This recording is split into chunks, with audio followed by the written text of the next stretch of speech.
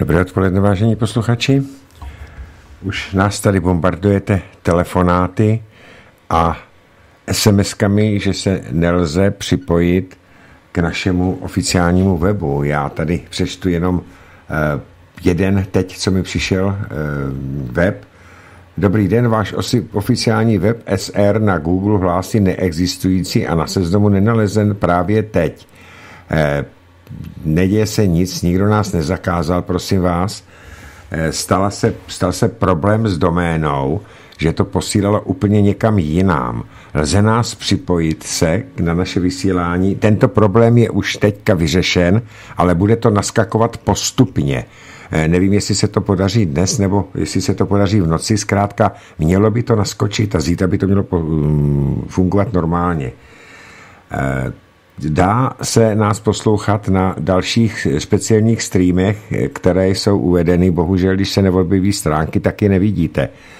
A je to, je to eh, technická závada, která jde mimo nás. Byla to pro, hm, říkám, závada eh, u toho providera, co provozuje tu doménu, na které vysíláme.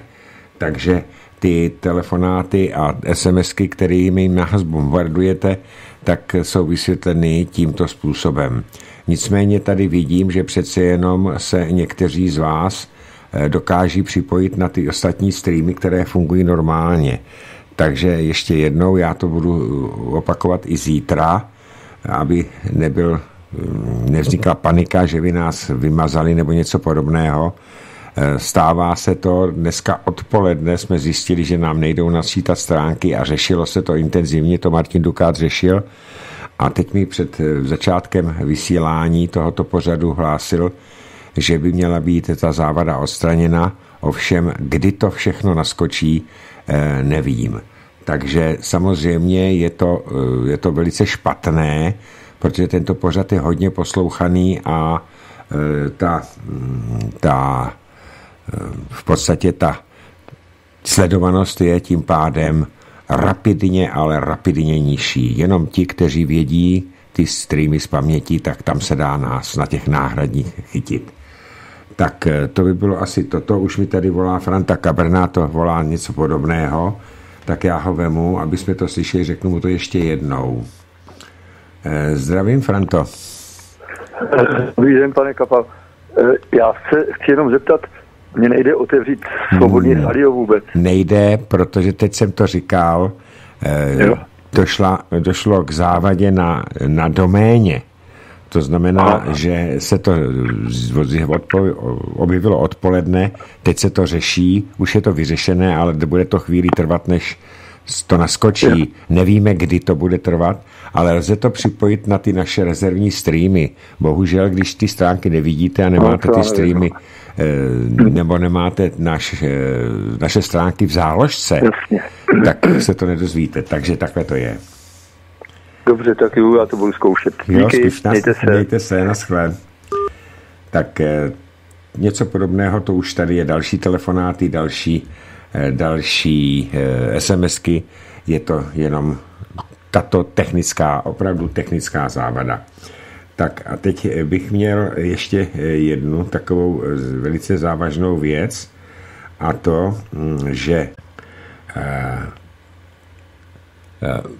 zítřejší pořád s panem Kolerem, pro ty, kteří nás slyšíte, pro těch pár lidí, on jich je opravdu, opravdu jich je asi, no řekl bych tak 12% normálního posluchačstva, tak eh, pro ty tady mi píše náš posluchač, že na VK to jede bez problému. Takže vy, kteří, ale to se zase ti, kteří nás neslyší, nedozví. Eh, takže hm, znova opakuji, eh, je to technická závada na doméně, je to odstraněné, ale kdy ta doména naskočí, aby to šlo eh, pustit, nevím. Je to zrovna smůla, že to se to stalo dnes, v pondělí, kdy je to hodně poslouchané a já doufám, že se to rozeběhne do 19. hodiny, kdy tady budeme mít po Skypeu pana pana eh, Petra Hampla, sociologa, a budeme se bavit o té vizi, eh, co nás tady čeká a tak dále. Takže to eh, jenom k tomu. Tak teď ještě další věc. Odpadl nám zítřejší mm, pořad s panem Kolerem, kterým jsem byl domluven, ale dneska po 9 na 10 mi dal informaci, že byl pozván narychlo na přednášku do Petrohradu, takže odjíždí zítra ráno brzo do Petrohradu, bude tam zhruba týden, takže mi mm, sdělil, že příští týden už by snad měl být k dispozici a ten náš pořad by se měl uskutečnit. E, na místo toho pořadu, ještě to není napsáno právě v tom mm, kalendáři, právě proto, e, že to nefunguje, tak to oznamuju teď, bude tam analýza Svobodného rádia druhého kola senátních voleb a zanalizujeme si tam, co to bude přinášet pro naši politickou scénu, eh, co ty výsledky eh, senátních voleb jako v cel, celku budou znamenat pro přijímání eventuálních zákonů a zkrátka takovou analýzu druhých, druhého kola senátních voleb a celkové výsledky senátních doplňujících voleb do třetiny senátu takže to bude místo toho. Tak a teď eh, nám tady eh, zazvoní zase telefony, eh, navíc se nám tady se nám tady zbláznil i telefon, musel jsem ho restartovat, tak já vemu další telefonát, co nám tady budou lidi říkat. Tak dobré odpoledne, slyšíme se? Dobrý den, mluvím s panem Kapalem. Mluvíte. Výborně. Tady Jarda z Severní Moravy. Vy jste tam e, řekl, že na vině bude nějaká doména. Ano. A nebude to náhodou nějaká domina, třeba Ingrid Romancovová. Ne, ne, ne, ne, ne, ne, ne, ne, ne, ne, ne, ne. Martin, Martin Dukát už se s tím provozovatelem odpoledne spojil, vyřešili ten problém. Ono to normálně eh, posílalo úplně někam jinam, ne na tu, ta, ta domina se neobjevovala. Takže kdyby to byla tahle ta domina, jak říkáte, ano, ano, ano, tak domina. Eh, to by nám provozovatel domény oznámil, že je všechno v pořádku, že to je něco no, jiného. No, ano, vlastně máte pravdu, já jsem se poplet. Děkuji vám, Nemáte Naschledanou.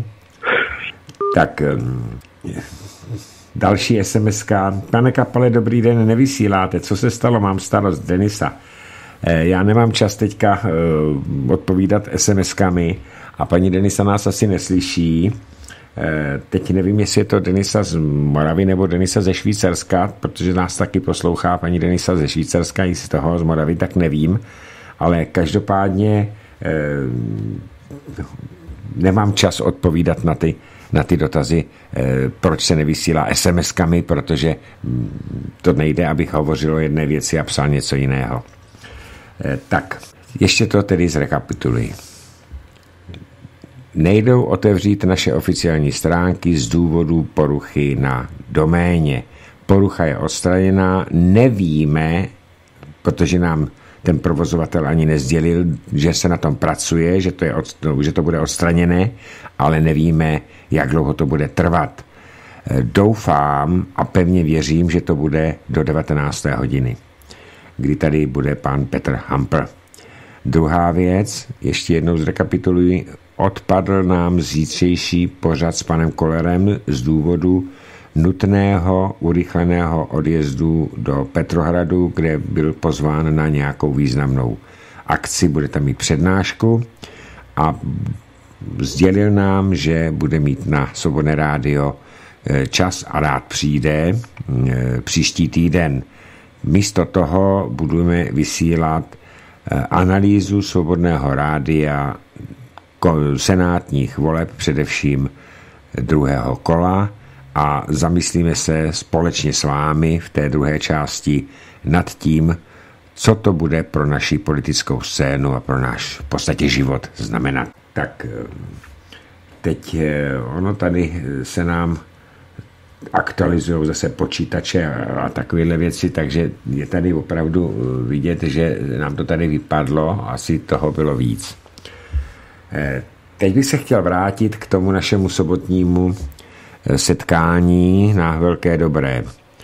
chtěl bych vám všem, kteří jste se dostavili a bylo vás hodně, poděkovat za to, že jste vážili tu cestu. Chtěl bych poděkovat za všechny dárky, které jste nám přivezli. Eh, byly to dárky mnohdy velice zajímavé. Od dortů, za které děkujeme, až od paní Jany z Nejtku, která mi jako dárek přinesla pletené mm, ponožky. Ono se oni se budou hodit eh, na zimu, kdy tady mm, eh, ve studiu není příliš velké teplo, takže za to taky děkujeme.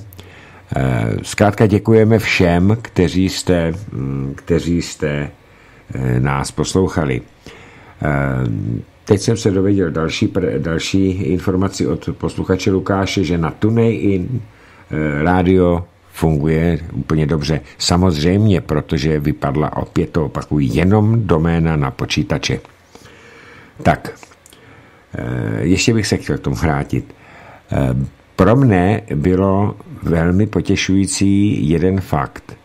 Jak se tam ptal, myslím, že Pavel Matějka, kdo tam byl poprvé, tak téměř polovina lidí tam byla poprvé. To znamená, že ti, kdo tam byli v loni a kdo tam byli při prvním srazu, teda v loni, kdo tam byli na jaře a v loni, tak eh, se tam nedostavili mnozí, ale téměř polovina, jak se sami viděli, lidí přijela poprvé. To znamená, že se rozšiřuje okruh posluchačů eh, našeho rádia a to nás těší.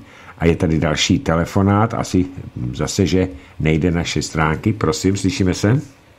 Dobrý den, tady je Zdeněk Střední Čechy. Dobrý den. To je pan Kapal. Ano, je. Pane Kapale, jenom se chci zeptat, normálně vysíláte, nebo? Normálně vysíláme, je to jenom Já... porucha domény. Kdybyste jo, si takhle. naladil rádio na telefonu na TuneIn, tak tam jo, to funguje jo. normálně. Je takhle, takže to je porucha. Já jsem je to porucha. Rybáci. Ne, ne, ne. ne, ne, ne, ne, ne, je to no, porucha. Tak vám děkuju, Ta porucha je prosím vás odstraněná, ale než to vysílání naběhne, tak to potrvá, nevíme dokdy.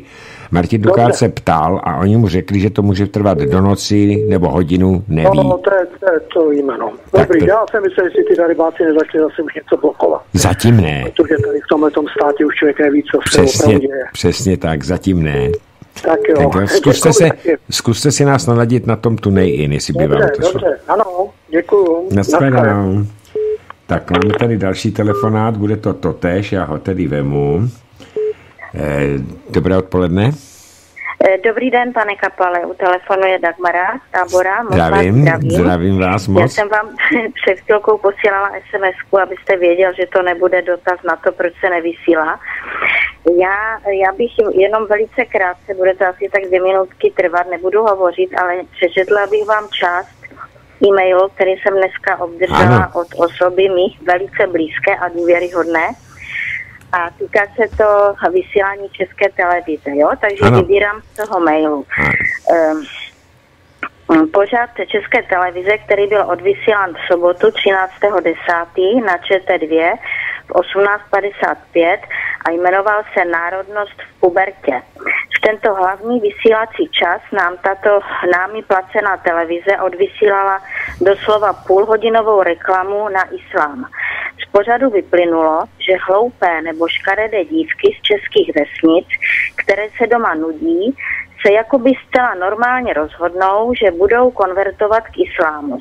Úžasné bylo sledovat, jak tento pořad vůbec neodsuzuje jejich rodiče za to, že nechají své děti zblbnout a řídit se do neštěstí, nýbrž, že je to vlastně úžasné, když si naše děti píší po internetu s muslimama v Čechách.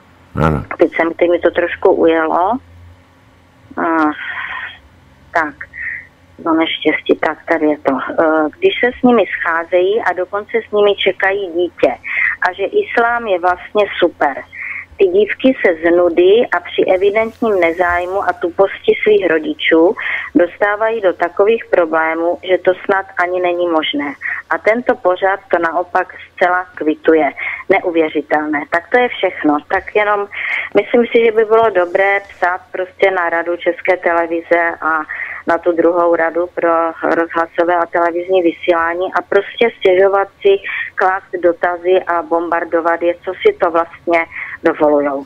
Tak to je všechno. Je to ale, paní Dagmar, je to, prosím vás, věcí eh, vás, posluchačů, kteří jste se o tom dověděli, eh, protože čím víc těch stížností tam bude, tím větší to bude mít váhu. Ale, Právě, já proto to jsem ano, přečetla. No? Ano, je to tak.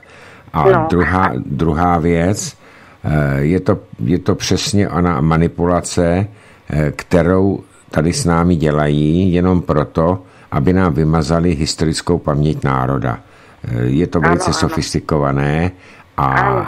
Píše to pan Petr Hampel ve své skvělé knize Prolomení hradeb a budují od této neděle, následující, co bude tento týden, číst na pokračování, protože vzhledem k Aha. autorskému zákonu musí mít svolení a to jsem právě dneska dostal.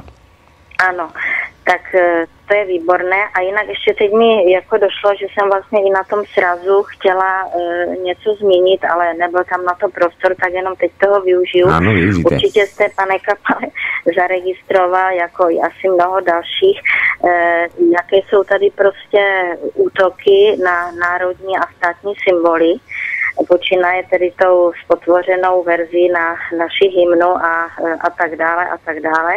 A teďka jsem zaregistrovala, myslím, že to bylo v pátek nebo ve čtvrtek, informaci, že se údajně na návrh dopravního podniku města Prahy, nebo že mají takový záměr, přejmenovat stanice metra, stanice tramvají a tak dále. A jako za všechny uvedu příklad, že například stanice metra Národní by se měla jmenovat Pernštín. Ano, jo? Takže také jsem četla. To je, ano. to je další útok, jo? Tady ano, na, přesně na tak. historii a na tyhle ty věci, na které jsme zvyklí, tak abychom si zvykali už na něco jiného. Paní Dagmar, vydržte, vydržte, ještě já vám k tomu Perštinu něco řeknu. Oni to odůvodňovali tím, že se tam říká na Perštejně, eh, uh-huh. nicméně ta historicky známá národní od 89. a i předtím, i v, co se týče dřív, tak všechno to, co zavání národem, se musí likvidovat. Přesně Nejenom, tak. že tady spotvořili hymnu, naštěstí to neprošlo, nejenom, hmm. že, se pota, eh, že se snažili spotvořit eh, naši státní vlajku tím, tou strašlivou hrou v Brně, ale uh-huh. oni dokonce spotvořili i český státní znak na reprezentačních tričkách fotbalistů a hokejistů. Tak, tak. Ano, to ano. je to je všechno, jsou to útoky na, na, na těm, těm hokejistům. Ten nový znak, který tam oni odsouhlasili, tak připomíná z 95%, jak e, grafici e, mi řekli, odpovídá znaku e, výrobce nákladních vozů Scania. A je to zase jenom, je to vzdáleně to připomíná od lva, který má v ústech nebo v hubě e, puk. Je to všechno no, je jenom to snaha je. o zničení národa jako takového. Je to opravdu... Je to přesně tak. A musíme prostě všemi možnými způsoby jako na toto reagovat, jo? Nenechávat to prostě tak, jo? Já taky, já teď píšu na všechny strany. Před volbama jsem psala dotazy na kandidáty na starostu a na ty zastupitele. Drž. Takže mi, někteří mi odepsali, někteří například paní poslankyně Maxová, vysílám, která u nás vysílám. teda Prosím zastupitelkou. Tebe, tak ta, si zítra od 19 tak přijet? ta prostě mi neodpověděla na nic. Tak no, přijet, ale budu pokračovat napíšu, dál. Nic, pane Kapale, tak už vám určitě volají další, Ahoj. takže já se loučím, zdravím všechny přátelé, celou rodinu Svobodného radia. Naschledanou. Naschledanou a děkuji. Tak eh, vážení posluchači, teď jsem eh, vzal utajeně telefon Ivana Kratochvíla a došlo opět ke změně.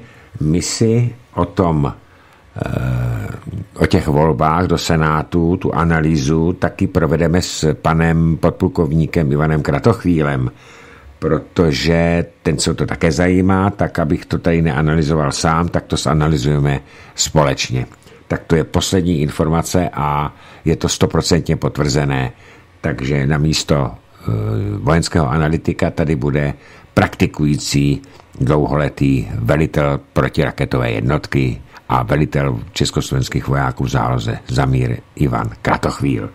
Tak, ještě bych chtěl reagovat a znova jsem dostal tady od dalšího e, Lukáše sms Pane Kapale, na TuneIn rádio, rádio vysílání funguje v pořádku. Lukáš, takže to jsem rád a vidím, že přece jenom se pár eh, posluchačů dostalo k našemu vysílání, i když nejdou, eh, nejde, nejdou ty naše oficiální stránky. Bohužel se to může stát, protože hm, je to jenom technika. Takže, jak volal náš posluchač, nebyla to domina paní Ingrid Romancevová, nebyl to ani gay pornoherec Jakub Janda, eh, nebylo to ani ministerstvo vnitra, Eh, byla to pouze pitomá technická závada, která nám udělala takovýto problémy. Ale říkal, je to technika. Tak já teď vemu SMSky, protože to je eh, hodně SMSek. Tak eh, první Jana z Orlové. Nejde, nejde hm, připojit rádio. Hovořil jsem o tom. Další SMSka další SMS od Leo Šebuckého na VK to, VK to jede bez problému. A další SMS. Dobrý den, proč je váš web nedostupný? Poslouchám vás denně a dnes mi to nechce naskočit. Děkuji, Jaroslav Zmatlík. Hmm, pan Zamatlík nás tady neslyší, ale já mu o tom Eh, budu muset všem odepisovat SMS-kami eh, to, co jsem tady eh, vysvětloval, že to je technická závada. Další Ludmila Hudcová, dobrý den, na VK to jde normálně. Ano, děkujeme paní Ludmile Hudcové, teď vemu telefonát. Dobrý odpoledne, slyšíme se? No, slyšíme se, pane Vladimíre, u telefonu. Leoš Bucký. Zdravím, pane Bucký. Už jsem četl vaše SMS-ku. A, a, jasně. A, a já jsem chtěl ještě dodat totiž a připojit se k té posluchačce, co vám volala ohledně české televizi. Ano. Dneska jsem v 8 hodin ráno byl v Blučíně, tady u Židlokovic na poště a byla tam, byla tam prostě nějaká mamina, která prostě má ve zdejší škole eh, žáka a jedna, mami, jedna rodička, co tam má jako nějaká muslimka, navrhovala škole, aby si prostě koupili koberečky a učila ta škola ty děti jako muslimizace. Což pochopitelně škola zamítla. Tak a teď Ale... vám k tomu řeknu, pane Budsky, jednu věc. Já se znám se spoustou bývalých ředitelek, protože jsou ve věku, jako jsem já, ale některé ano? z nich ještě fungují jako ředitelky škol. Eh, jsou to spolužačky z gymnázia a ty mi, mi říkají, že jde jenom o odvahu a statečnost jednotlivých ředitelů, kteří toto zamítnou. Takže já mám spolužečku, která i ve svých letech musí dělat ředitelku, protože žila dlouho v zahraničí, tak musí pracovat. A ta zásadně odmítá veškeré muslimské a vůbec politické akce na své základní škole a je v podstatě podporovaná i zřizovatelem, tedy městem. Takže ty školy, pane Budský, který toto dělají, třeba například ten projekt Erizon, tak ano. je to na ředitelích škol. A uh, rodiče by měli apelovat na ty řediteli, ředitele, že si to nepřejí. No, proto to škola jako tady ta místní uh, tady Dobře, dobře udělala. Dobře udělala. A dobře udělala. Tak jo. Díky moc. A pozdravu všechny posluchače Svobodného rádia a taky děkuji všem za účast ve Velké dobré. Bylo to výborné. Akorát teda škoda, že mě bylo teda jako eh, blbě, ale díky Jendovi z Opavice, že ho pozdravuju, který mi dal prášek, tak se mě udělalo potom dobře. Takže, Takže ještě jednou. Děkujeme, že jste, že jste přijel, děkujeme, že Jendovi Sopaví, že vám uh, dal ten prášek a přeji vám hodně a hodně zdraví, pane Bucký. Já vám taky, pane Kapal, a všem celému týmu Svobodného rádia a posluchačům pochopitelně. Samozřejmě. Tak jo. Děkujeme. Hezky. Tak eh, počkáme, až to pan Bucký vypne, abychom vzali další telefon. Tak, už to je. Tak, eh, dobré odpoledne, slyšíme se. Dobré odpoledne, tady Jana Zrlové. Já vás zdravím, paní Janičko. Jo, už vás slyším, díky paní Dáši a panu Kolačkovi, protože jsme propojeni, takže jsme si hned psali, jak to, že nám to nejede a panu Kolačkovi se podařilo vás najít na jiném na Google. Ano, ano, ano, ano. A tam, takže super, takže to všechno slyšíme, tak abyste věděl, že nemusíte psát SMS-ky. Dobře, děkuju, děkuju Posloucháme. plně, no. Jo, jo, mějte se hezky. vy, vy taky a říkám, já doufám, že už to večer eh, v těch 7 hodin bude fungovat. Snad. Tak jo, díky No. moc. Taky. Naschledanou. Naschledanou. Tak já vemu další SMS-ku. SMS-kami se to tady jenom, jenom hrní. Pepa ze severu, poslouchám přes Tunej in v pořádku. Díky Pepo a zdravím. Eh, Další SMS-ka. Eh, Dobrý den, za chvíli zavolám. My posloucháme. Dagmar, tak už zavolala, nestačil jsem vzít SMS-ku, děkujem. Eh, Další SMS-ka. eh, Jiří z Pardubic, jste nedostupní, error. Takže všechno eh, jsem tady vysvětloval. Pan si to určitě, určitě posle, to poslechne eh, zítra z toho archivu, kde to funguje normálně. Další sms Lukáš opět z Glasgowa, eh, takže Lukáš z Glasgow nám píše, že nás poslouchá vždycky přes TuneIn a funguje to velmi dobře. Lukáši, zdravíme do Glasgow. Další. Online radiobox.com funguje, píše eh, tady posluchač, který se nepodepsal. Takže dám prozbu. Vážení přátelé, vy, kteří máte známé a jste s nimi v telefonickém spojení eh, a víte o nich, že poslouchají naše rádio, tak eh, pište prosím vás jim, že aby si našli aby si našli adresu, já to řeknu tak, jak je to psáno, poraďte jim, kde nás normálně uslyší. Je to online radiobox dohromady .com. To, když si do, do vyhledavače třeba přes Seznam nebo přes Google najedou, tak tam si najedou svobodné rádio, pustí a hrajeme tam. Takže eh, prosím, abyste to eh, sdělovali si navzájem po telefonu. Tak eh, Milan píše, zdravím vás a přidám radu posluchačům. Mám hlavní stránku SR v záložkách a jde mi to. Samozřejmě, pane Milane, dobře děláte. Oni jsou totiž nahoře ty oblíbené, se tomu říkají záložky. A tam, když si dáte svobodné rádio, tak tam máte tu stránku, která funguje a když se stane něco, že vypadne třeba ten, ta doména nebo nějaký technický ten, tak to tam funguje, mm, funguje dobře. Pan Milan pokračuje. Mám hlavní stránku SR v záložkách a jde mi to. Také je to dobré při výpadcích, kdy jen kliknu na záložku a zase to jde. Pane Milané, zdravíme a děkujeme za informaci. Tak další sms -ka. Zdravím, pane Kapale, musím poděkovat za všechny pořady, které děláte. Je to nádhera. Děkuji, Michal z Brna. Pane Michale, děkuju. Eh, My se snažíme a je to právě proto, že nás poslouchá stále víc a víc a eh, ti, říkám, poslouchá nás, eh, třeba tento pořad je poslouchaný enormně, to jde do tisíců, teď eh, se jedná řádově o stovky, protože, jak říkám, nejde ta domena, ale kdyby nebylo vás, posluchačů, přesně tak, jak jsem říkal v sobotu na tom srazu, tak bychom si mohli vysílat do Aleluja a bylo by nám to eh, platné prd.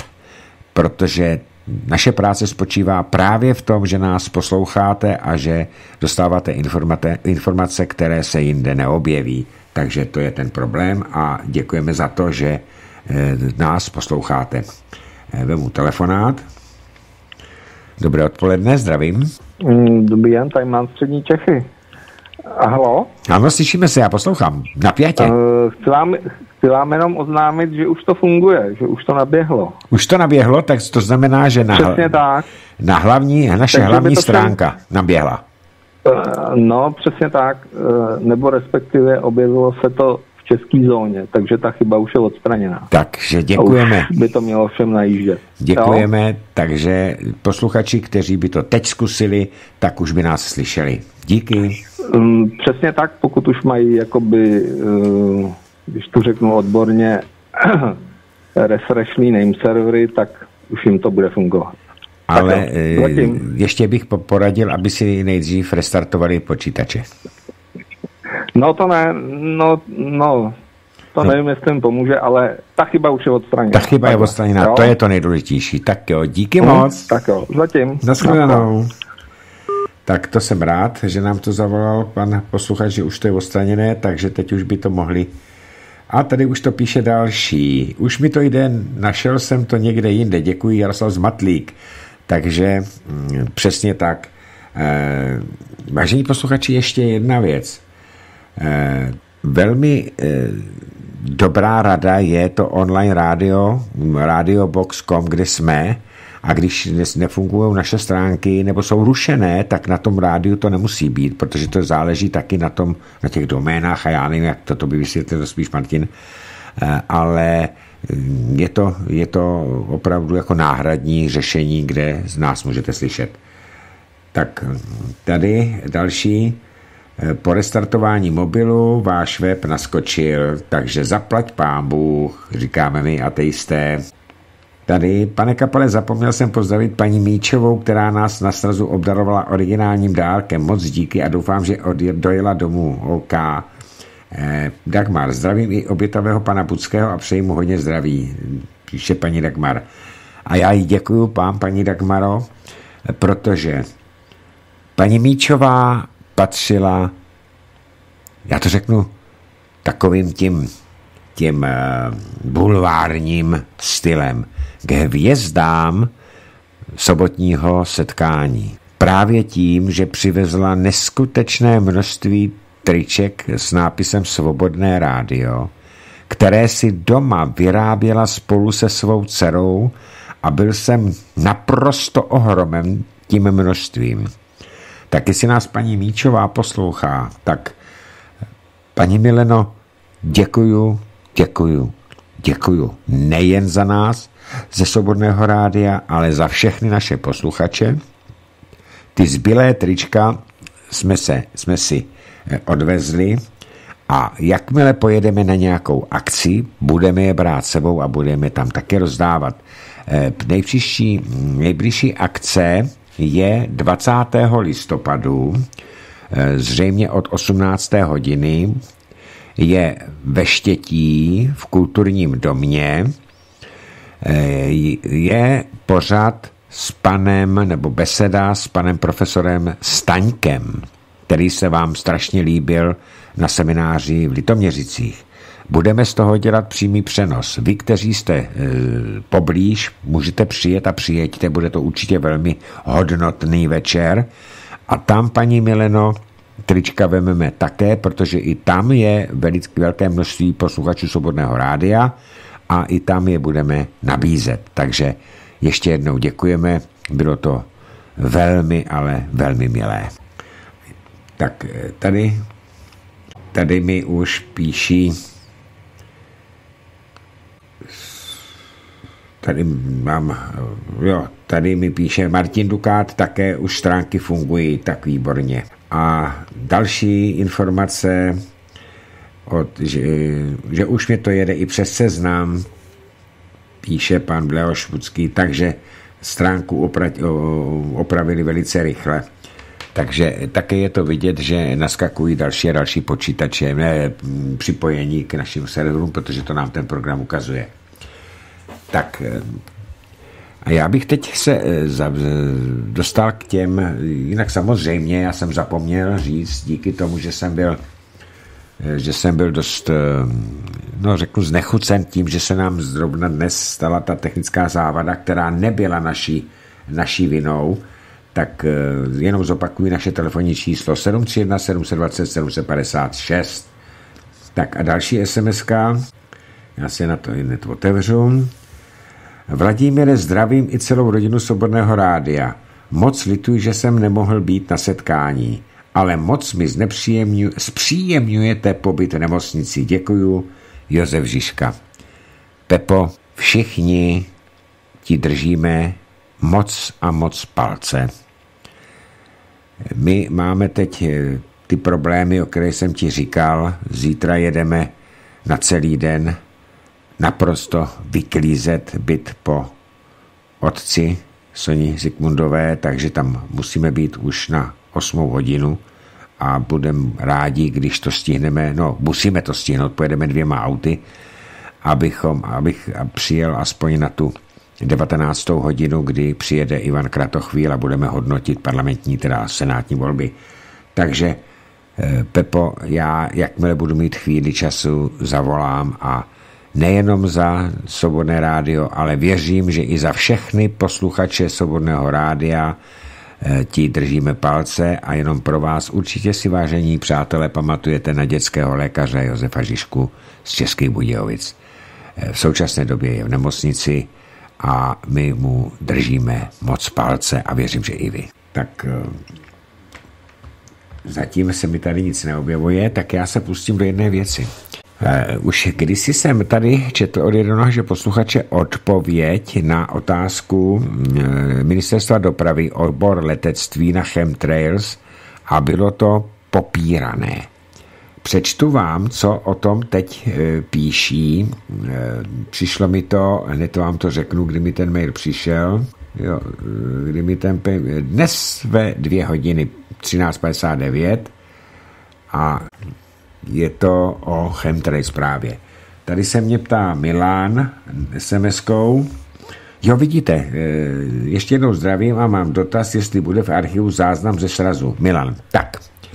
Vážení přátelé, já jsem tam na tom srazu, nejenom pro Milana, pro všechny říkal, eh, že jestli máme souhlas eh, s umístěním videozáznamu. Koukal jsem se dnes přesně do, včera, včera do znění eh, vyhlášky Evropské komise přijaté Českým parlamentem, tedy sněmovnou i senátem o GDPR. Videozáznam na, na stránky nebo na YouTube dávat nebudeme. Vysvětlím proč. Abychom mohli videozáznam dát někam, zveřejnit kamkoliv, celý ten videozáznam, který natáčela i eh, Ivetka Richtaříková, museli bychom disponovat písemnými souhlasy všech přítomných v sále. To znamená všech, kteří tam byli e, přítomní. A museli by tam obsahovat ten souhlas veškeré osobní údaje. Pokud toto není, riskovali bychom ohromné, ohromně vysoké pokuty. Paradoxem je, že se tam uvádí, že tam musí být písemný souhlas naprosto všech osob, to znamená i dětí. A protože děti, neplnoleté děti, nemají právní subjektivitu, tak v podstatě tenhle ten nesmyslný zákon GDPR eh, znemožňuje pořizování záběrů, eh, pokud tam je dítě, a není tam ověřený, úředně ověřený podpis rodiče toho dítěte s udáním souhlasu. Takže by ti rodiče těch dětí, co tam byli, tak by museli nejdřív jet někam na matriku a ověřit, nechat si ověřit, že jsou skutečně rodiči těch dětí a že ten souhlas udělují. Takže ten videozáznam nebude. Ale toto neplatí u audiozáznamu protože tam nejsou vidět ty tváře. Takže audiozáznam bude eh, celý, myslím, že ve dvou pokračováních je bude dávat Iveta Richtaříková a eh, je to, myslím, už napsáno v programu eh, Soborného rádia. To znamená, že pokud už teď jdou naše stránky, tak se můžete podívat, kdy a v kolik hodin bude ten celý, budou to dva dva díly, protože to je dlouhé, takže bude to tam zveřejněné samozřejmě, ale videozáznam tam nebude. Tak a teď se dostanu k tomu chemtrails. Chemtrails jsou, píší, obrovským fenoménem konspiračních teorií. Zajímalo se o něj spousta lidí, včetně několika novinářů, dokonce i vědců. Ve většině případů byla jejich existence pochopitelně jednoznačně popřena. Někteří lidé však stále v jejich existenci věří. Jak to tedy je? Je naprosto normální, že za tryskovými letadly letící určitou rychlostí v určité výšce se vytváří tzv. contrail neboli kondenzační pás. Je naprosto neškodný. V závislosti na počasí je totiž tvořen pouze vodní párou, kapkami vody nebo krystalky ledu. V závislosti na okolním počasí se mění doba jejich rozplynutí. Málo kdy však vydrží, poslouchejte pozorně, více než několik minut. Hlavním rozdílem contrails a chemtrails je jejich složení. Na rozdíl od contrails obsahujících pouze neškodnou vodu, chemtrails jsou údajně složeni z vysoce nebezpečných chemických látek, bakterií a virů. Tyto látky mají sloužit ke snížení populace na Zemi a zabránění obrovského předlínění nebo dokonce k ovládnutí lidské mysli. Pás za letadlem vypouštějícím tyto látky, látky vydrží prý mnohonásobně déle než prý mnohonásobně déle než obvykle a je mnohem větší a výraznější. Chemtrails také na rozdíl od contrails vznikají bezprostředně za letadlem a jejich vypouštění může být přerušeno pilotem. Údajné složení Chemtrails může být různé. Mezi nejmí, nejzmiňovanější látky však patří bárium, bauxit nebo různé kyseliny. Možné je i vypouštění uměle vytvořených virů či bakterií, které způsobují vysoce nakažlivé smrtelné nemoci. Mezi dalšími možné důvody použití chemtrails patří například i pokus o modifikaci počasí, globální stmívání nebo získání ekonomické výhody. Chemické látky můžou být totiž použity pro zničení zemědělství na daném území. Zastánci konspiračních, te- konspiračních teorií však nedokáží zodpovědět otázku, jak je možné, že jedovaté látky vypouštěné z letadel nezne zaznamenat žádnými přístroji. Jednou z možností je například manipulace s médií. Několik vědců a novinářů se snažilo objevit tajemství chemtrails, většina však nenašla důkaz o jejich existenci. Ostatní zmizeli, anebo se chemtrails přestali bez udání důvodu věnovat. Na otázky, proč se dále o chemtrails nezajímají, se zdráhají odpovědět. Že by jim bránilo něco v odpovědi? Tak. Vážení, vidíte manipulaci mainstreamových médií. Oni řeknou, že ty kontrails, tedy kondenzační páry, se vydrží na té zemi, na té, na tom, na té obloze několik minut. Chemtrails tam vydrží několik hodin. Každý to známe. Na Facebooku jsou stovky a tisíce fotografií. Existují tam dokonce videozáznamy, kdy pilot letí, nic za ním není, zmačkne nějaký tlačítko a je to za ním. Já to viděl na vlastní oči. Letadlo letělo a nebyl za ním žádný, žádný ocas. Ani kontrails, tedy kondenzační páry, nic.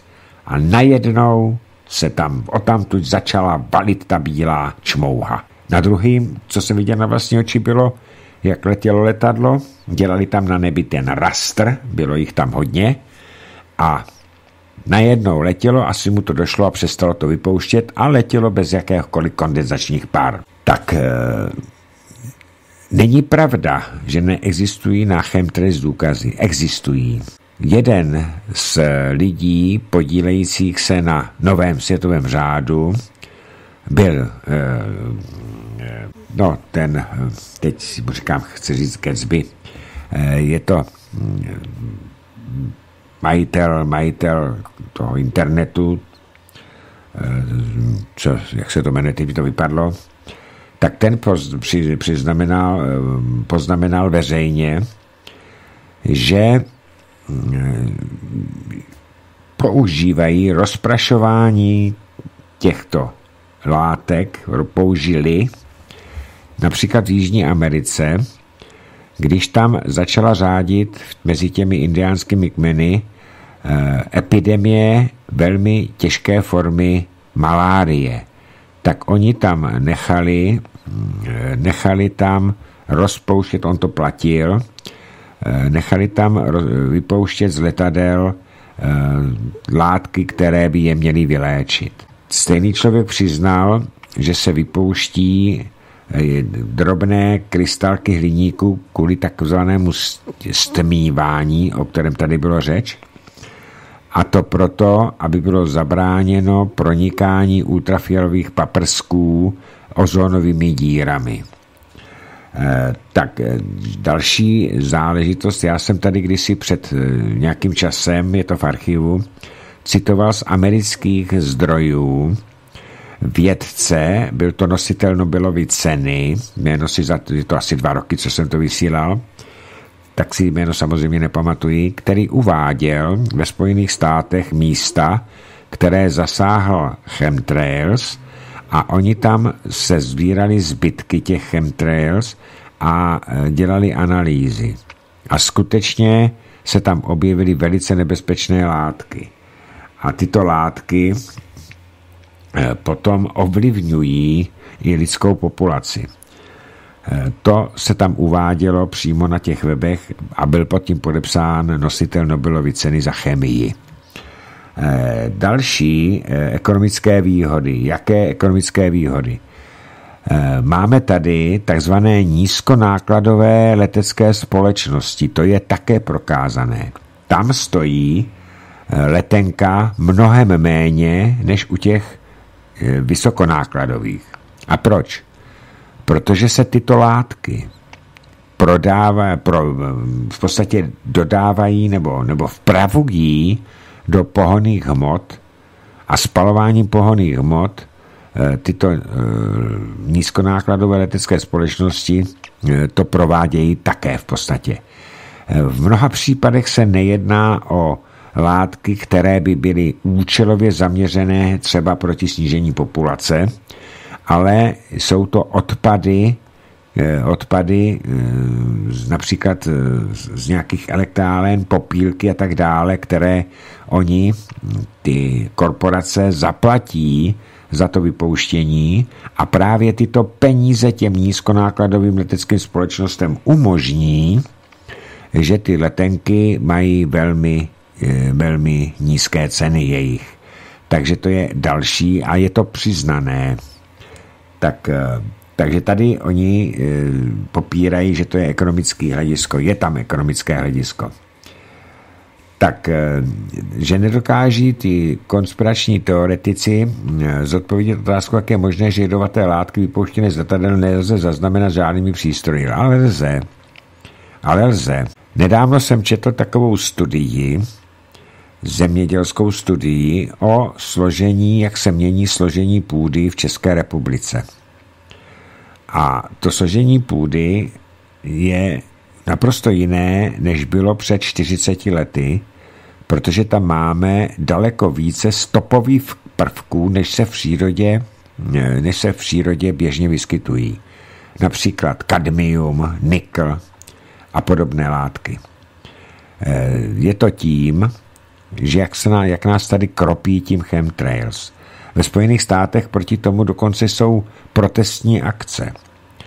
Eh, Hovořil o tom prezident Miloš Zeman, existuje někdy nějaký záznam o tom, že by měl eh, parlament požádat eh, ministerstvo dopravy, aby eh, a ministerstvo zahraničí, aby snížilo minimálně o 30% přelety letadel vypouštěných nad naším územím.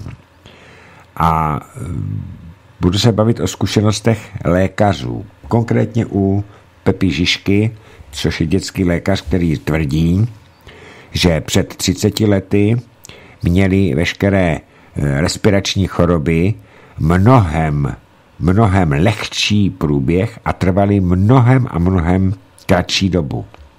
Dnes je při běžné respirační chorobě občas nutné nasadit i antibiotika. Je to zaviněno tím, že jsme krmení podobnými látkami, které způsobují tyto dlouhotrvající eh, respirační choroby.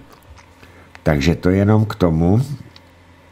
A že se někteří ty věci, že se o to přestali zajímat.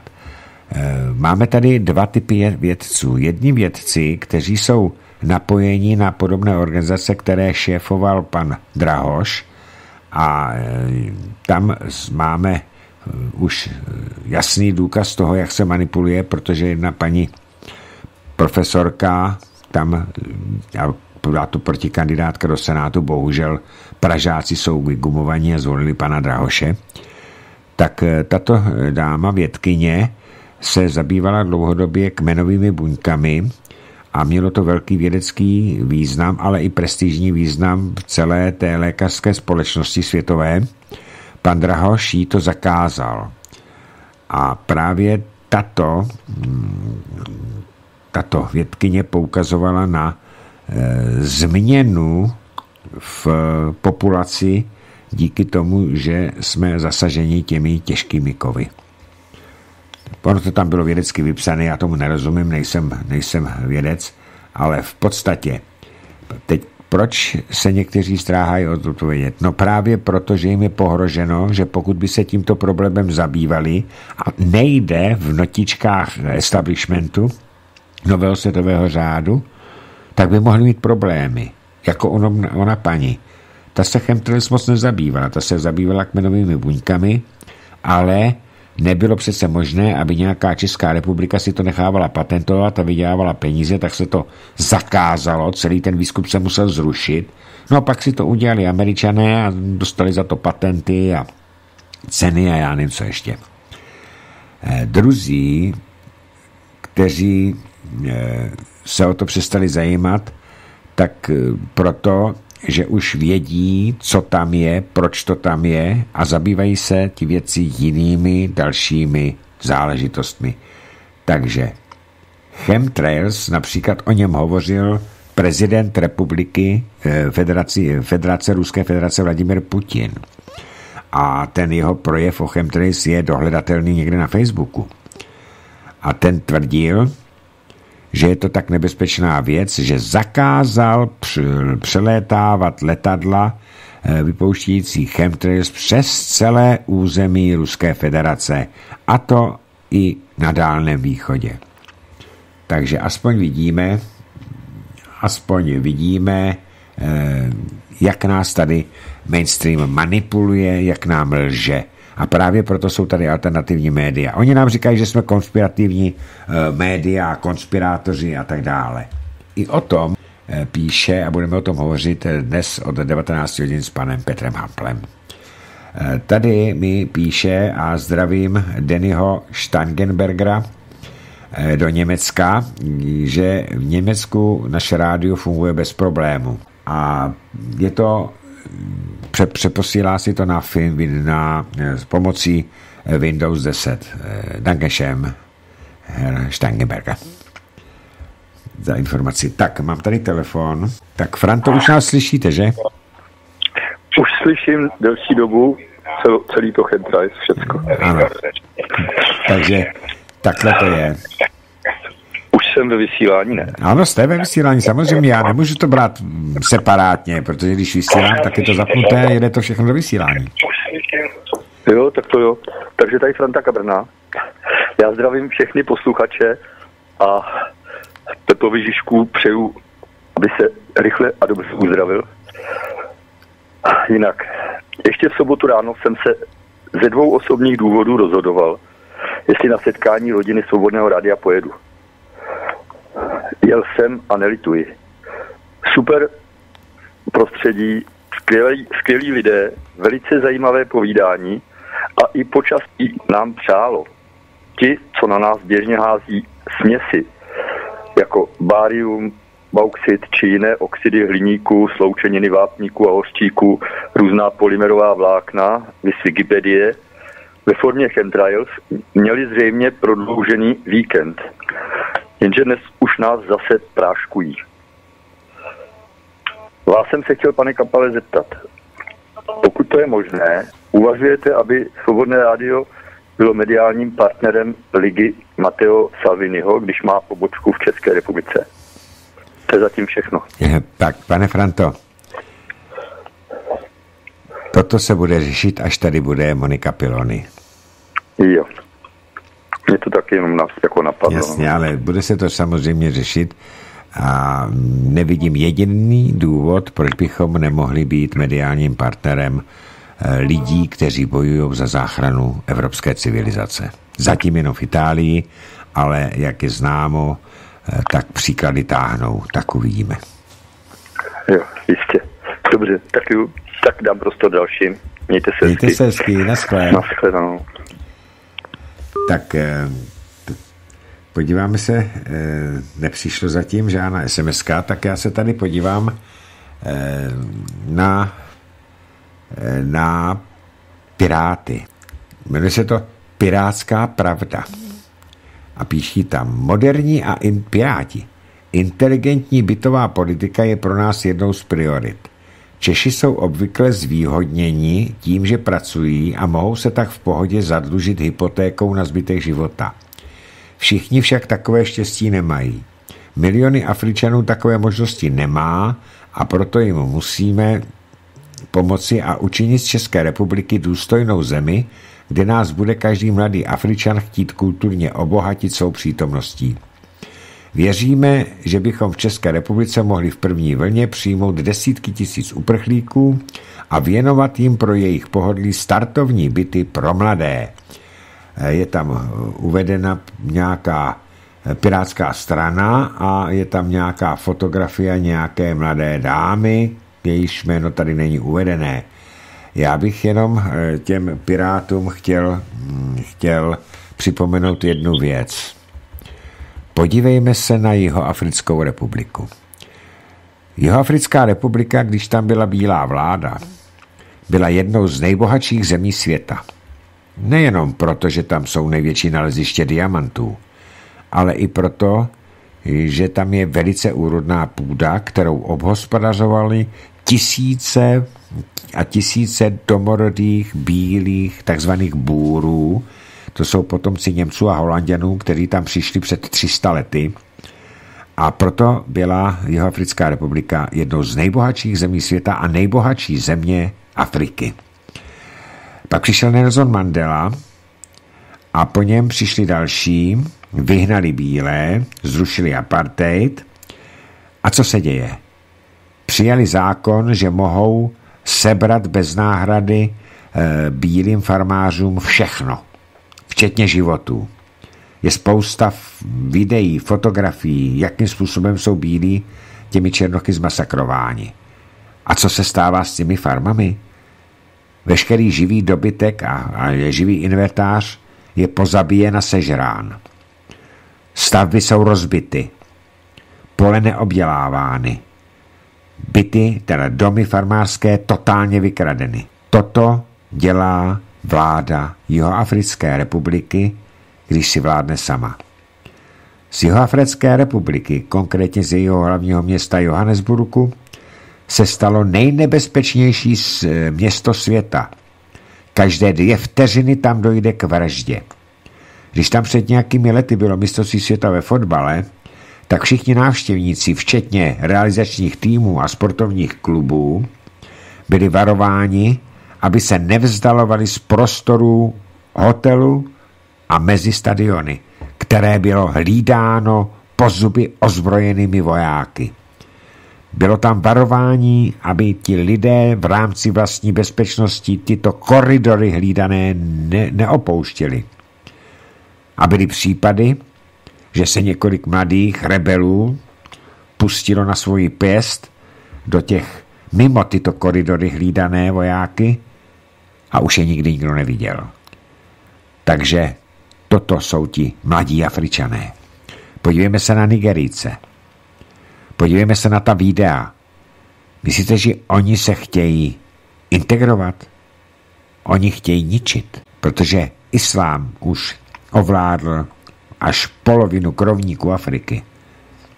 Oni jsou nadřazeni a oni jenom ničí. Já se jenom, jenom hrozím toho, co to je za lidi, kteří volili Piráty. Hrozím. Teď mu Pepu ze severu. Pepo, zdravím. Slyšíme se? Ježiš, já jsem ho vypnul, nebo to vypadlo.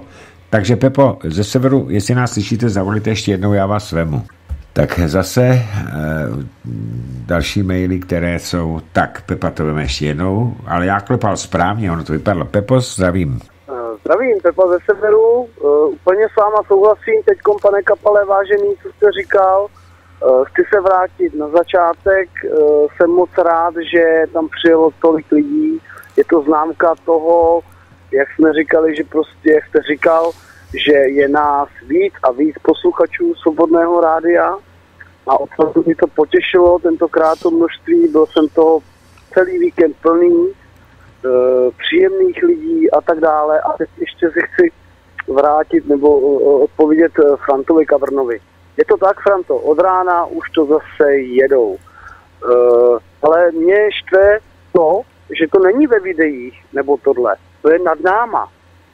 Lidi zvedněte hlavu, koukněte se do, nahoru a uvidíte to, co se děje. Mě právě mrzí to, že já to tam takhle ukazuju prstama lidem. Podívej, hele, zase tady nechali tohle. A kouknu za půl hodiny, podívej, co se z toho stalo. Ono se to rozptiluje, že jo, a pak vznikají mraky. E, do toho letí další, že jo. A, a ty lidi prostě, hm, hm, jo, jak kdyby už prostě byli, byli tím práškováním. Uh, tak já jsem viděl i pohádku, normálně pro děti. A místo mraků tam takhle lítnali padlá za nima byly ty čáry. Takhle ty křížený, že jo, když už jedou ty ty. Uh, a to už pouštějí malinkým dětem, aby vlastně těm dětem došlo, jako aby, aby nedošlo, aby prostě to brali jako, že to je normální věc. To je neskutečný, jo. To je eh, neskutečný a tam se všechno řekl o tom chemtrails, víme, co, co na nás pouštějí a uh, řekl bych, že od roku 2000 uh, eh, do roku 2000 nám, nám stoupal jakoby životnost, nám stoupala. Ale řekl bych, že od roku 2000 nám zase poměrně klesá ta životnost člověka.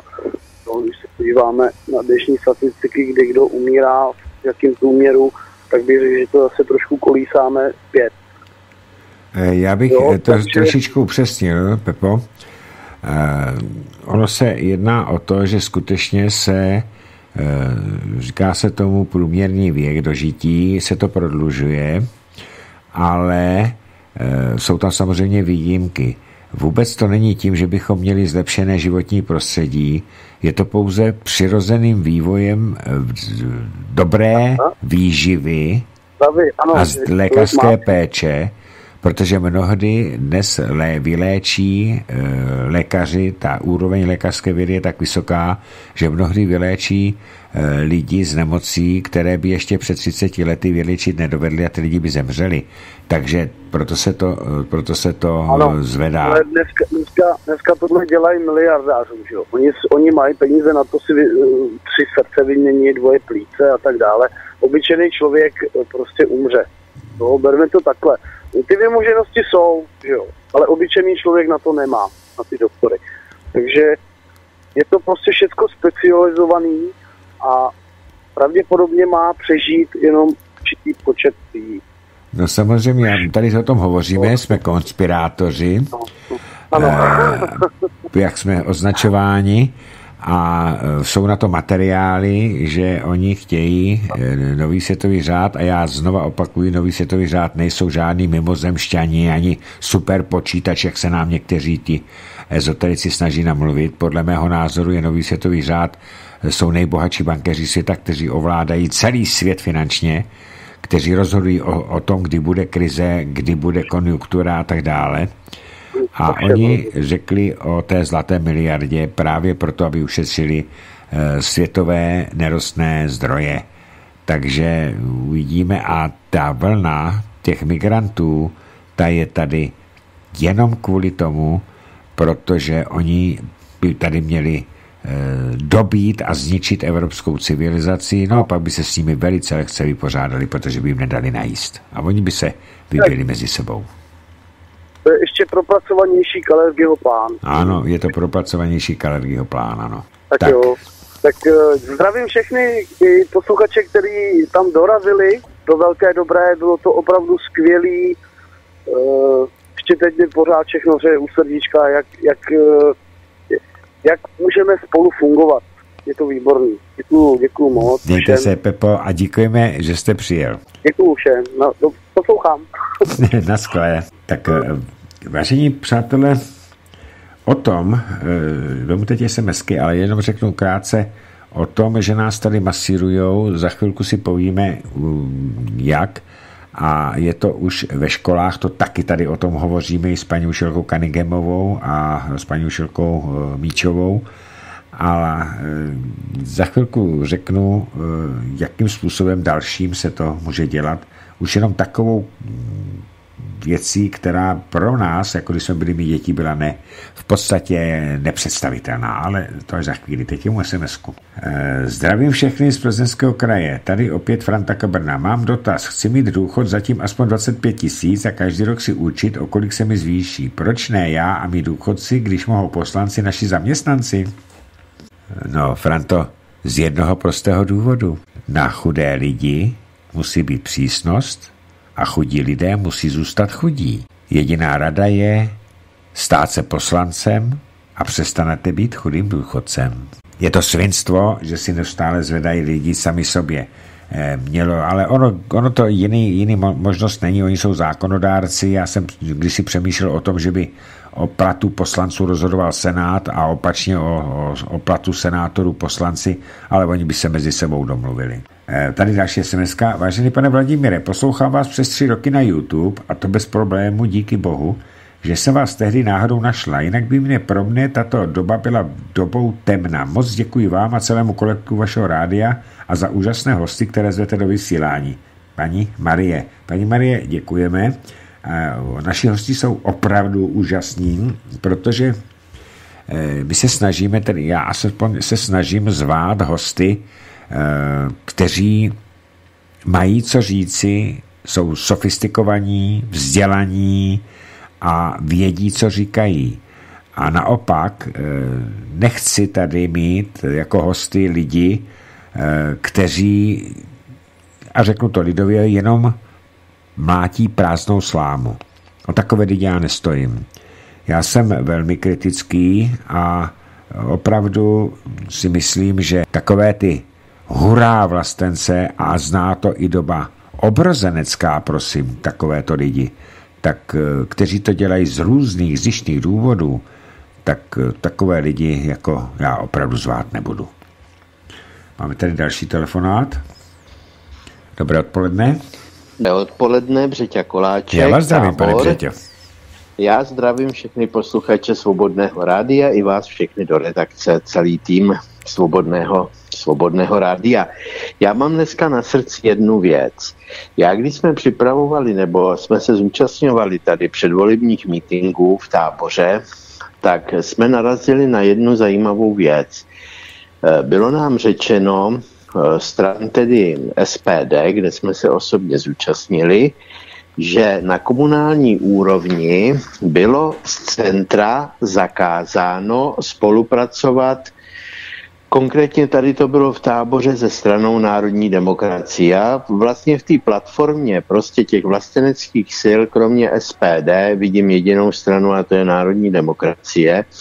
Možná, že i něco málo nebo uh, i někde jinde je ta dělnická strana pana Vandase, ale jinak v podstatě z těch národoveckých stran už není nikdo. Takže jsem si říkal, a nebo těžko mi to šlo na rozum, proč, když je nás v úvozovkách jako do Mariáše, ještě máme zakázáno prostě spolupracovat, zejména tady na té komunální úrovni, mezi sebou.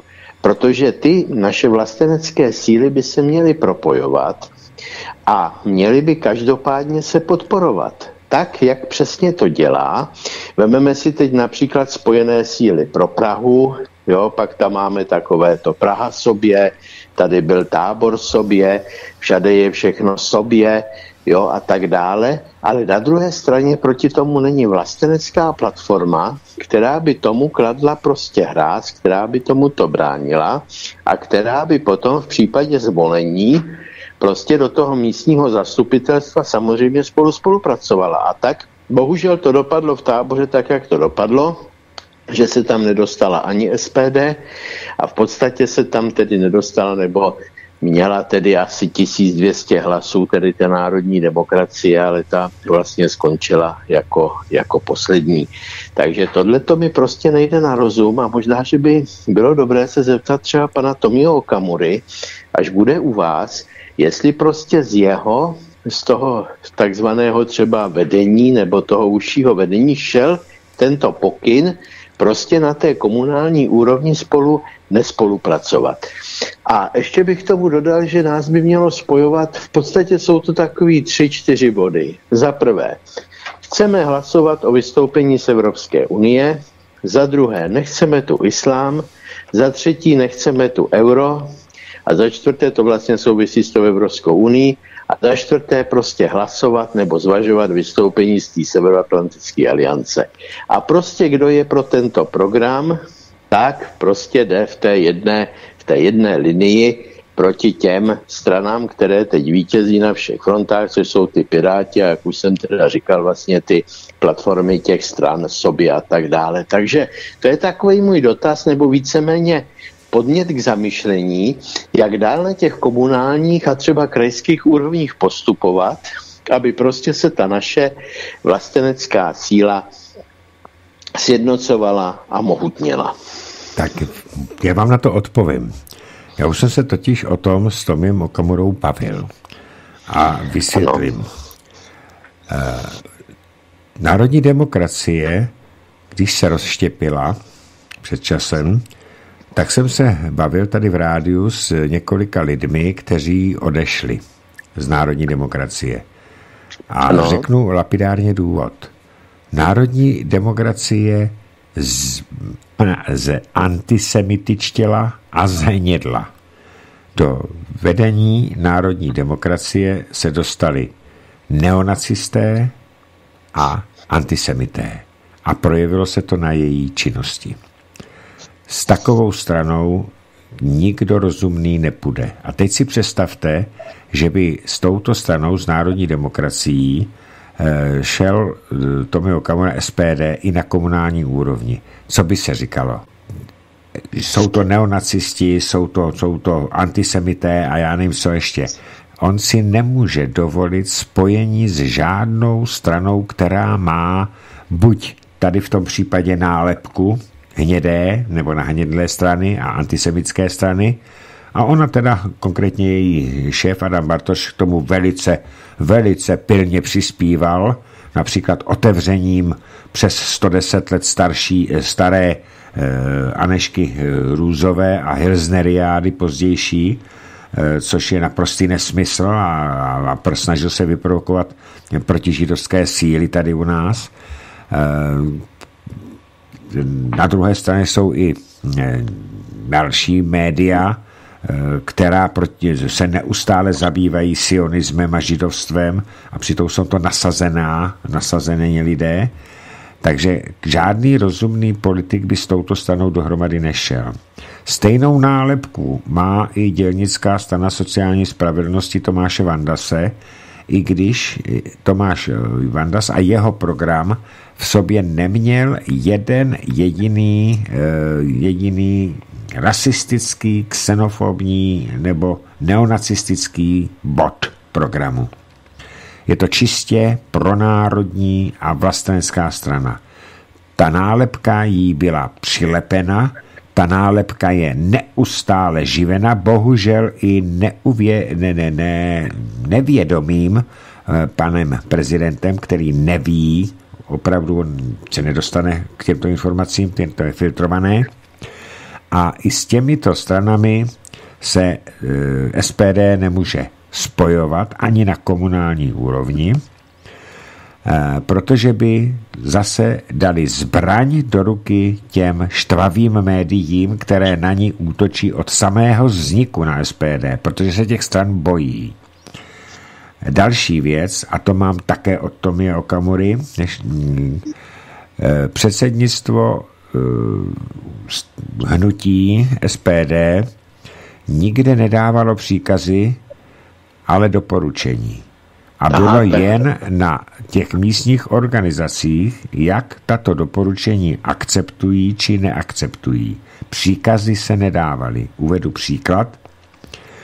Eh, v nakladně vznikla koalice, ve které je TOP 09, ve které jsou Piráti, STAN, eh, ve které je ODS, zkrátka všechny strany, které ve volbách získaný mandát, tak se spojili proti současnému končícímu primátorovi eh, Milanu Wolfovi a jeho volbě pro Kladno, i když vyhrála ohromným náskokem, měla 35%, a mm, druhá Eh, ODS měla asi 12 procent, což je rozpodo. Jenomže Eh, když se to přepočítá na mandáty, tak oni měli koalici předtím s KSČM, kteří měli čtyři mandáty, teďko mají dva, takže jim dva mandáty chyběly. A přesto se dva zastupitelé nově zvolení za SPD spojili proti Milanu Wolfovi z osobních důvodů. Z osobních důvodů a dali se do koalice s Piráty, TOP 09, STAN, ODS, tedy ze stranami, proti kterým SPD ve sněmovně bojuje. Eh, takže nedostali, oni dostali doporučení, aby to nedělali, ale rozhodnutí bylo na těch místních organizací a kladenská místní organizace se rozhodla proti primátorovi a já se domnívám, že nakladně SPD skončilo. Já, pane Kapale, tohle ano, tohle je, tohle je velmi pěkně řečeno a já ještě k tomu vždycky dodávám, že vlastně eh, ta otázka, kdo je vlastenecký a kdo je nacionální, až tedy pejorativně nazvaný nacistický, si eh, víceméně dávám do souvislosti kdysi s citátem Charlesa de Gaulle, který, který řekl, vlastenec je ten, který miluje vlastní národ. Nacista je ten, který nenávidí cizí národy.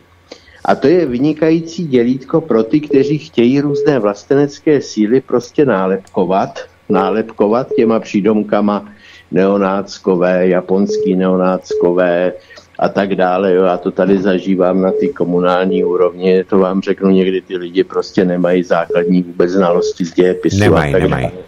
A bohužel toto používají. Já bych to dlouho tedy nezdržoval. Co se týče toho polanského procesu s tou Aneškou Hruzovou, tam je to skutečně záležitost, která je 110 let stará, ale v podstatě není justičně uzavřená, protože ten Hilsner byl pouze amnestován, ale nebyl rehabilitován. On nemohl být rehabilitován, on v tom vězení zemřel. No, takže to už je poměrně stará záležitost, ale mě šlo spíš o tom, o prostě do budoucna, jo, s kým protože vidím, že ty prostě ty strany, a teď to vidíte v těch jednotlivých městech, jak to se pospojovává, jo, prostě to je, to jde napříč TOP 09, starostové nezávislí, všichni spolu, tábor sobě, Praha spojíme, spojíme síly všichni a my zůstaneme skutečně rozdrobení, rozatomizovaný, kromě toho SPD, který je tedy že jo, parlamentní stranou, do těchto ministraniček a pětistraniček. Tak tím jsem se chtěl teda jen tak jako spíš Pane Koláčku, ještě vám to trošičku objasním. Všechny tato, všechna tato uskupení na tom komunále jsou krátkodobá účelová uskupení pro získání moci nad tím městem. Těm lidem v těchto uskupeních jde za A těm čestným o tu obec, za B těm nečestným o zisk. A oni se spojují proti všem stranám, které by chtěli dělat politiku bez korupce, které by mhm. chtěli dělat politiku pro lidi, pro vlast, pro národ. Protože je omyl, je to velkým omylem se domnívat, že na komunální úrovni se neovlivňuje celostátní politika. Ovlivňuje. Tak, a nejenom politika, ale i rozpočet státu. Musíme si uvědomit, že máme tady u nás v České republice přes 6400 obcí a každá má rozpočet. Lidé nevědí, jakým způsobem se, jak, jakým způsobem se ty rozpočty naplňují. Oni eh, si myslí, že ty města se na to musí vidět. Není to pravda. Oni tam mají přímé příjmy z daní a na různých eh, poplatků a tak dále, ale gro rozpočtu každé obce a města je státní příspěvek podle velikosti obce, podle počtu obyvatel. To je hlavní příspěvek státu. A tím, jak nakládají s těmi penězi, přímo ovlivňují chod celé společnosti i toho celého státu. A tito lidé, kteří se takto pospojují, tak já to vidím z vlastní zkušenosti, tak eh, tito lidé tam jdou, jako například Brandy se Piráti prohlásili, ovládneme město a budeme budovat. Co to mhm. znamená? Ovládneme město a rozprodáme zbytek pozemků, které jsme my po léta tam udrželi, protože tam byly snahy, a prodáme to developerům, mnozí z nich byli v tom uskupení přítomní, a oni tam začnou stavět ubytovny, byty a já nevím, co ještě, zkrátka vydělávat peníze. Takže to bylo účelové. A druhá, eh, na odpověď na druhou otázku, pane Koláčku, proč se nemůže eh, spojovat eh, hnutí jako je SPD s jinými? Protože tady opravdu skoro nikdo jiný není. A to je smutné. A to, to je... je smutné. Podívejme se, podívejme se dál. Jsou tady e, různé s tím pidi strany. A když jsem se o tom bavil, tak to mi říkal, my jsme se zpočátku s nimi bavili, ale to je pidi strana, která má třeba 150 členů a kdybychom se s nimi spojili, tak její předseda chce být na volitelném místě kandidáce do sněmovny. Mm-hmm. A já to říkám, eh, jak se říká, že každý z těchto malých straniček, ten předseda, takže každý chce být náčelníkem a nikdo nechce být indiánem. Takže všichni, všechny tyto malé straničky tvrdili, že Okamura se nespojuje, že se musí opozice spojit, alternativa spojit. Ale jak to předpokládali? Že se všichni nadspou na kandidátky e, Tomia Okamury a s nimi po jeho zádech se vyvezou k placeným funkcím. Pokud by to totiž mysleli opravdu, opravdu pronárodně, vlastenecky, tak by neusilovali o ta místa volitelná, ale nešli by vůbec do voleb. A svým členům, všem, protože těch stran máme strašně moc, by řekli, nebudeme tříštit alternativní síly, všichni budeme volit jednu stranu, budeme volit stranu SPD Tomia Okamury a budeme si ho kontrolovat, jestli ten náš a společný teda program plní. Toto neudělala, pane Koláčku, a je to také spojování alternativy.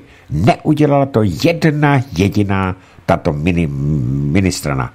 A když jsem si spočítal rok ve sněmovních volbách, že tyto pidi strany sebrali celkem 7% hlasů, a kdyby tyto strany byly opravdu vlastenecké a nešlo jim jenom o korito, tak by Okamura dostal měl 11 a 7, 18% hlasů a nějaké drobné byl by druhou nejsilnější stranou, protože by o pár desetin býval přeskočil i druhou ODS.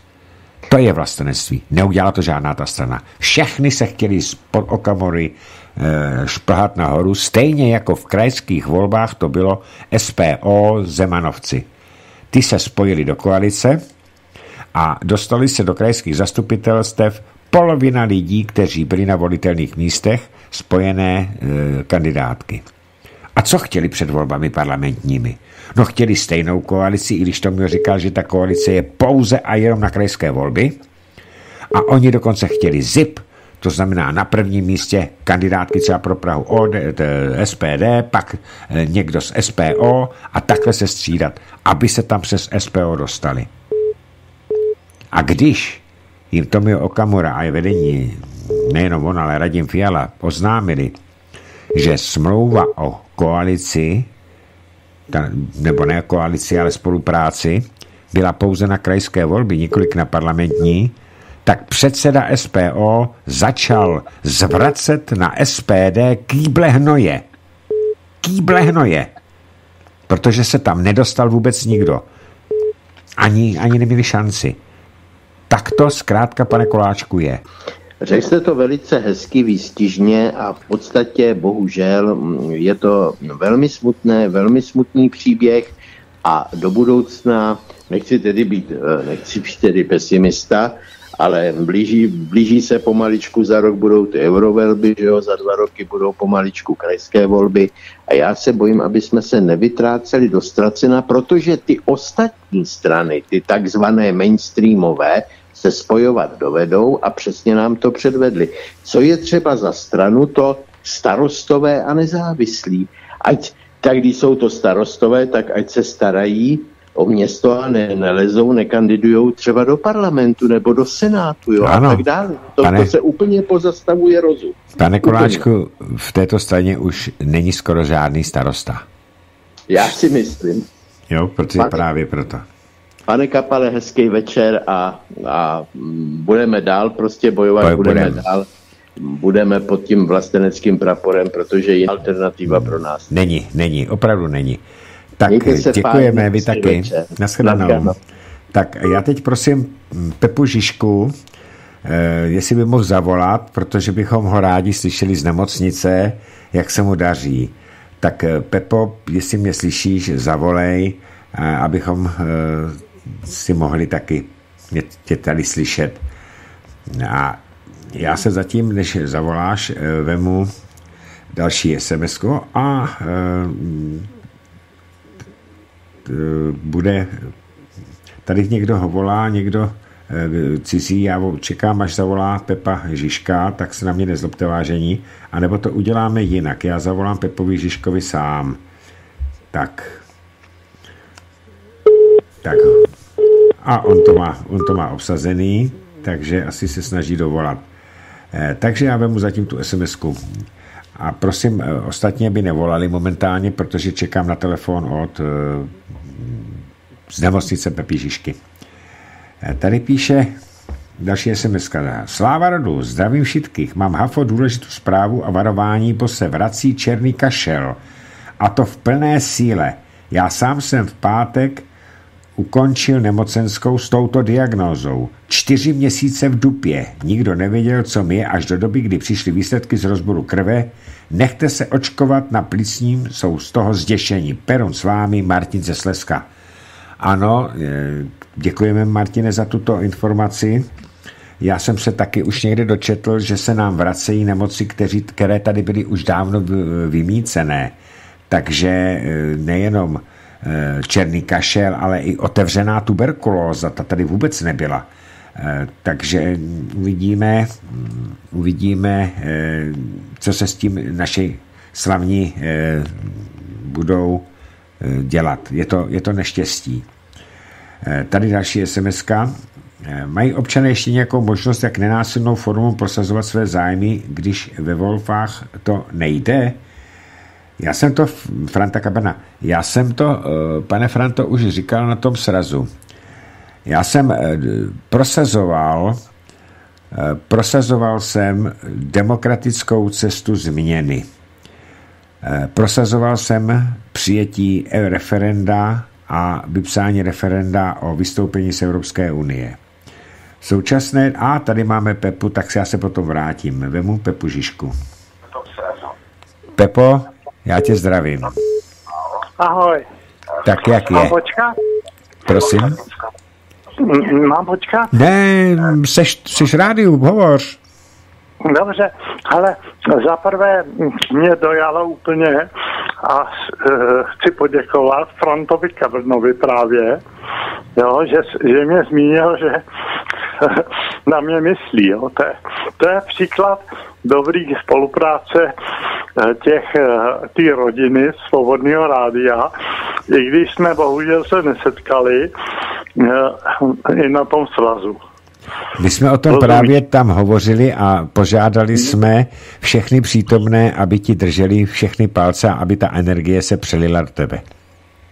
Ano, jenom říkám, že to není nic smrtelného, žádná malignita onkologie, jde o prokrvení jedné nohy a, a abych o ní nepřišel, jo? Tak. No, no, takže jsem strašně rád součástí této rodiny a i bez ohledu na to, že jsem v nemocnici, mi pomáhá zvládat život v tom vychyleném světě. Rozumíš? Jana, děk, Jo? děkujeme a zároveň přejeme, aby si tam za prvé ten pobyt nemocnici měl co nejpříjemnější, aby tam by chodili No. okolo tebe sami hezký eh, sestřičky. To to choděj, ale i tak to těžko zvládám. To Já vím, já, jo? já se ti vůbec nedivím. Já, který jsem v nemocnici je v dospělém věku nebyl ani jednou, naposledy, když mi bylo asi 10 let, to jsem tam byl se žloutenkou, tak Jo. nevím, jak bych přežil v nemocnici, já to vůbec neznám, já jsem tam nikdy nebyl. Já jsem tam po druhý, ale to nepříjemný i v případě, že máš kolem sebe houf krásných sestřiček. Jo? ano, ano, jasný. jo? Takže a já si, ale už můžu dovolit být nezávislý. Jo? Pracuji přes důchod, nehrabu peníze A e, tak na tom přemýšlím, že čest statečným, kteří třeba i vystoupí v našem rádiu, jo, Ano. a zároveň uvažuju o nesouzení těch, kteří závislí jsou. No, to taky asi chápeš někdy existenčně. Ano, chápu, chápu, chápu, ale já jim to nevyčítám, jenom pro informaci tvou a všech našich posluchačů a kon, uh, už těch posluchačů opravdu je normální počet, protože už to naskočilo ty naše stránky, tak eh, já jsem eh, žádal o další rozhovor spisovatele mm, Vlastimila Vondrušku, kterého si ne- nesmírně vážím. A z počátku jeho spisovatelské kariéry jsem mu pomáhal tím, že on mi posílal knížky, co nově vyšly a já jsem na ně dělal recenze a v novinách, tehdy ještě v tištěných a ty, protože ty knížky se mi líbily, tak ty recenze byly v jeho prospěch a pan spisovatel Vondruška mi řekl, že k nám do rádia nepůjde už, Aha, aha. protože Mhm. jsme rádio podporující SPD a on nechce jít do rádia, které je placené SPD. A já vím, od, já vím, odkud, prosím tebe, eh, fouká vítr. Protože Hmm. on totiž mi řekl, že už slíbil do rádia Tapin rádia v Brně rozhovor No víte, víte. a okamžitě tvrdil, že nemůže jít do rádia, které je placené SPD. Já jsem mu to nevymluvil, tak jsem mu... Ne, to je blbost, Tak no. jsem to mu- je blbost, hele. Ne, to byl záměrný, pom, záměrná pomluva, ale i to je vidět statečnost či nestatečnost člověka. Že nechce být spojován Je. se SPD. No, tak on, on víte, on víte, kam mlčím. Ale, Ano. hele, aspoň, aspoň myšlení těch lidí, který, který, je to takové stádium, mezi stádium, to myšlení těch lidí je aspoň s námi na naší straně, jo. Ale ty důvody, proč se nepřipojí, nepřipojí úplně a třeba mm, a nevystoupí na našem rádiu, tak ty jako, já to z lidského hlediska chápu. Jo, to chce ještě pokrok v tom myšlení lidí, no. Ano, musí tam, musí tam přijít ke změně myšlení lidí a právě proto je potřeba, aby všichni naši posluchači naše rádio šířili mezi svými známými i neznámými. Já jsem teď dostal eh, jeden e-mail, kde mi naše posluchačka psala, eh, že se bavila s mladými, eh, několika mladými a většina těch mladých ji poslala kamsi, ale dva kluka holka, mladý, okolo 18-17 let, si nás poslechli a pak ji říkali, a už posloucháme Svobodné rádio taky. Takže ono to opravdu mm, bude postupovat a nesmíme Bude, lámat hlavu. ale já to ve své ordinaci mám taky hodně teenagerů a uh, troufám si říct, že tak dva z deseti mě na to zaberou a uh, přemýšlejí a poslouchají a rozmýšlejí se, protože jinak uh, je jeden z těch velkých problémů, jak víš, je ten děti a mládež. Ano, je to velký problém. Ano, o tom si... A do budoucna zejména. No, Ano, to si o tom chystám pořad eh, taky přesně tak, eh, co se děje s mládeží a budu vzpomínat na eh, Baldura von Schirach ve třetí říši. Jo. Hele, tak já, tak já nebudu dále zdržovat. Já jsem rád, že jsme se spojili i, i v mé nemoci, která snad nebude trvat dlouho. Jak, jak říkám, není to nic smrtelného. Ne, Akorát mi chybí no, moje praxe, Hmm. protože moje vystoupení z práce mě ničí víc než ta nemoc. Jo. Ano, ano, ano. Já vím o tom, že jsi workoholik, ano. A, takže takhle. A ještě jednou mm, eh, Franta Kabrna opravdu mě dojal. Jo, že si na mě vzpomněl. Určitě tě Franta Kabrna poslouchá. Hm? Takže rád bych se s, s těmi i Frantou, i, i těma Pepama odkudkoliv rád setkal a snad k tomu někdy dojde. Snad k, k tomu, protože my to zase budeme chystat někdy na ten květen, to už bude zase teplo, takže snad to vyjde příští rok květnu. Dobře. Takže pozdravuj i doma, i Ano. Soniu. Doufám, že je zdravá už úplně po operaci. Už je to, je to mnohem lepší, mnohem lepší. Ještě nemá takovou dobrou chuť, protože má eh, tím zásahem spálený některé eh, chuťové pohárky, ale Jo, to, to, se, to se obnoví. to se obnoví, A- přesně tak. a Jinak je to v pořádku. Dobrá, už to. Histologie je Histologie je skvělá, skvělá, naprosto v pořádku, výborné, výborné, Pepo. Tak ještě budeme dlouho poslouchat. Budeme, ano. Tak jo, taky díky za zavolání, Vladimíre. A já jdu zase pokračovat v nemocniční lézbě, která by měla skončit v neděli. Takže ti přeju, ať to do té neděle vydržíš. Děkuji moc. A pozdravuju všechny posluchače. Taky. Pepo, měj se hezky a vydrž. Ahoj. Ahoj. Tak, eh, protože ještě máme jeden čas, počkáme, vezmu ještě jeden telefon, tak eh, eh, dobrý večer, už je večer, slyšíme se? Dobrý večer, slyšíme se, Miroslav z Liberce, respektive z Liberecka. Eh, Pane Kapale, já vás zdravím, zdravím posluchače. Dobrý den. Hosta nemá, no dobrý večer, přeci, teď jste to říkal před chviličkou, sleduju. Takhle, já mám dva technické, dvě technické připomínky. Jedna je eh, víceméně návrh a druhá je dotaz. Eh, Takhle, k tomu návrhu. Eh, Před časem, nemyslím tím dnešní volající, ale před časem mám volal jakýsi pan Cerner, nebo tak nějak takový divný jméno to bylo, Ano. eh, sluníčkář vyložený a tak dál. A prostě já bych to eh, řešil tím způsobem, že bych zavedl, řekněme, minutu na e, dotaz a podobně a stačí. Ne, ne, ne, Jo. ne, ne, ne, ne, ne, ne, já vám to, já vám to vysvětlím. My jsme svobodné rádio. Eh, Jasně. My necháváme našim hostím, telefonujícím příznivcům svobodně vyjadřovat svůj názor a návrh. Pokud to trvá neuměrně dlouho, ten telefonát, a tak, eh, tak neuměrně říkám dlouho, tak eh, já upozorním, že tam nikdo není, že, že, že tam není sám ten člověk a poprosím ho o zkrácení.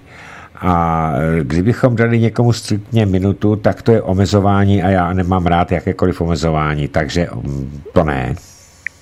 Dobře, dobře, tohle to chápu. E, myslel jsem ještě, to, to, k tomu jsem se nedostal. V případě, že ten dotaz je pro vaše rádio zajímavý, tak by se to dalo prodloužit, to je věcí moderátora, prostě takhle jsem to myslel. Jasně, Nevadí, jasně. jedeme, jedeme dál. Zeptám se na pana Pavla Matějku, e, jak má vybavené studio, jestli má studio pro hosta, případně e, pro telefonický, skypový rozhovor pro Má. hosta a tak dále. Má, Má. má. Super. A můžu teďka, teďka nějaký ten dotaz eh, dotknout jste se Pirátů, tož mi nevadí, já je nem, nemusím zrovna uh, takhle.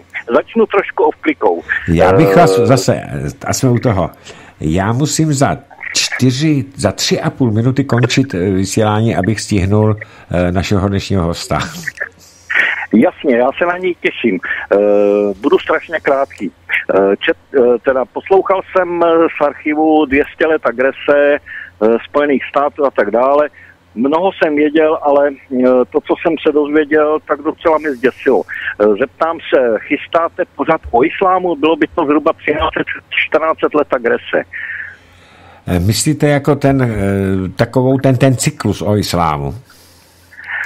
No, přesně, přesně tak. Já si Chystám. myslím, že by to za připomínku Chystám. stálo.